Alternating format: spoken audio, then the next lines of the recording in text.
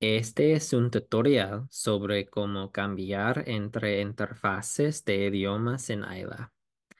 Para cambiar el idioma en la página de inicio, haga clic en el nombre del idioma en la esquina superior izquierda de la pantalla.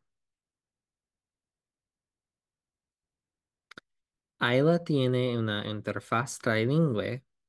Puedes elegir entre español, inglés y portugués.